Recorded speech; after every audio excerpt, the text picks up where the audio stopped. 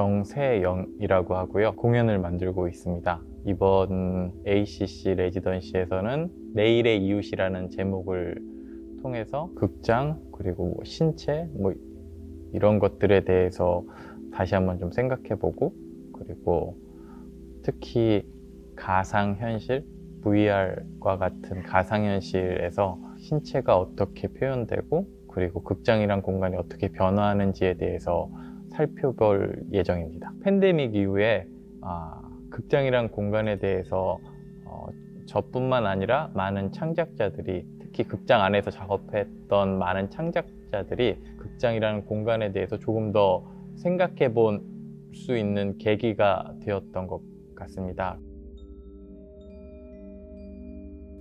가상현실 공간과 어, 물리적인 공간을 병치시켜서 각 공간마다 어떠한 특성을 가지고 있고 그리고 각 공간 안에서 신체라고 정의 내려져 있는 대상이 어떠한 식으로 어, 표현되고 그리고 관객들한테 어떻게 받아들여지는지 그리고 서사 방식이나 혹은 표현 방식이 어떻게 달라질 수 있는지를 살펴볼 려고 합니다.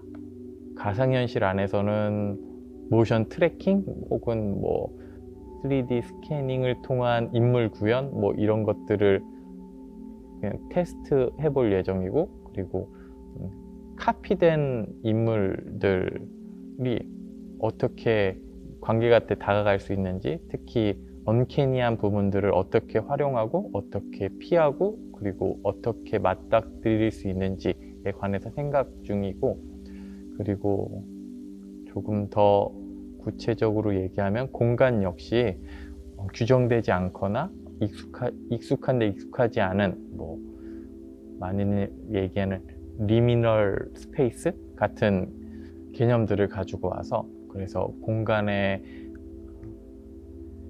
형상 혹은 형태를 통해서 그리고 기존에 가지고 있던 어, 공간적인 특성을 어떻게 다시 답습하면서 그것들을 조금 더 새롭게 바라볼 수 있는 방식을 생각하고 있습니다.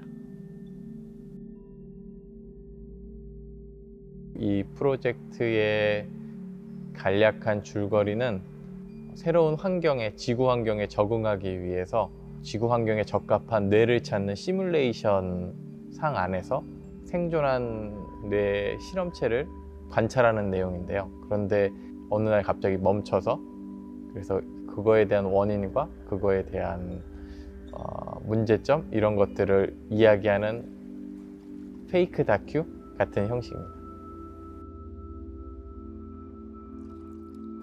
네, 지금은 계속 그 시각적인 부분에 있어서는 기술적인 부분에 있어서는 어느 정도 어, 테스트가 완료되어 있는 상태고요. 그리고 줄거리 면이나 그리고 형식적인 면에서 어떻게 관객들이랑 더 재미나게 그리고 조금 더 설득력 있게 이야기할 수 있을지에 대해서 어, 좀 고민하면서 계속 지금 변경하고 변형시키고 있습니다.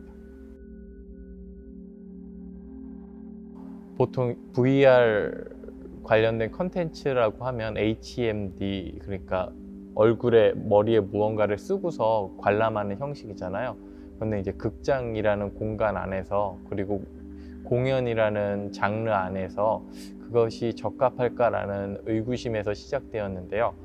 어, 무엇보다 아, 같이 볼 수 있는 VR 그러니까 공동 같이 관람하고 같이 시선을 쫓는 그런 예전의 극장과 영화, 영화에서 어, 주로 다루는 혹은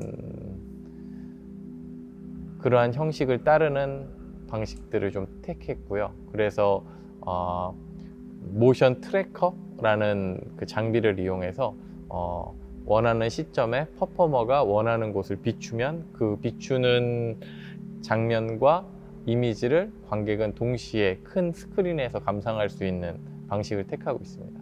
네.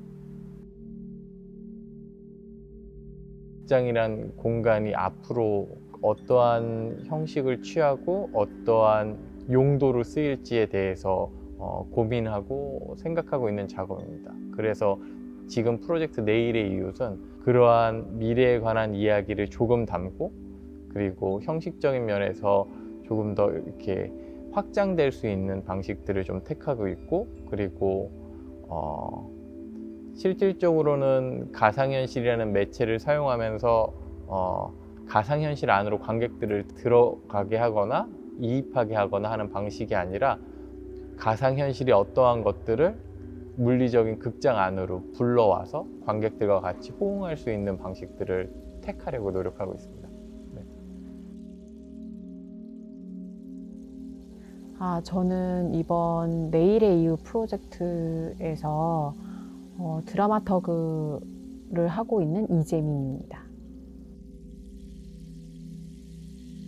일단 내일의 이웃은 극장에서 사용되는 게임 물리 엔진 기능 안에서 다양하게 그 신체성을 연구하고 어, 가상현실 안에서 신체성이 어떻게 작용되는지 그리고 실제 극장과 가상현실에서 일어나는 걸 중첩시켜서 극장 내에 좀 다른 서사나 아니면 다른 신체성 표현 감각을 불러일으킬 수 있는지에 대해서 같이 작업하고 있습니다. 물리 엔진 안에서 어떤 인물을 설정하고 그 인물이 실제 저희가 느끼는 신체성처럼 어, 어떻게 그 가상현실을 보면서 극장에서 일어나는 것처럼 감각할 수 있는지에 대해서 되게 많이 얘기를 나누었어요. 그것 중에 이제 제일 공감되었던 게 이제 중력 안에서 신체성이 어떻게 이루어지는지에 대한 얘기를 많이 해서 예를 들어서 간단하게 그 위에서 아래로 떨어지는 행위가 사실 가상 공간에서는 보통 이렇게 막 떠 있든 아니면 그러니까 그냥 그냥 서 있는 게 사실 중력을 느끼는 부분에 있어서 쉽지는 않잖아요. 그럴 때그 어떻게 그것을 활용할 수 있는지에 대한 속도감이나 아니면 움직임을 어떻게 들 거냐에 대한 네 얘기를 많이 했던 것 같습니다. 최종적으로 그 작업은 그 극장에서 실시간으로 이루어지는 영상 공연, 영상 연극의 형태가 될 것 같고 무대 위에서 퍼포머가 움직이고 극장의 스크린이 어, 그 움직임과 시선에 따라서 이렇게 변화하고 앵글을 잡고 그리고 이야기하고자 하는 부분들을 어, 관객과 함께 바라볼 수 있는 그런 방식으로 어, 작업이 이루어지고 있습니다. 그리고 단순히 영상만 비추는 게 아니라 앞에 있는 퍼포머의 행위와 영상이 상호작용이 일어나서 그거에 대해서 다른 서사와 플룻이 이어지게끔 연출하고 구성하고 있습니다. 여러 가지 시도들을 해볼 수 있는 기회였고 그리고 사실 지금 사용하고 있는 매체들이 원래는 제가 익숙하거나 혹은 그 전에 사용했거나 하는 그러한 방식들이 아니었는데 이번 기회를 통해서 어, 테스트해보고 시도해보고 실험해볼 수 있는 자리여서 어, 매우 어, 뜻깊은 시간이었다고 생각이 듭니다.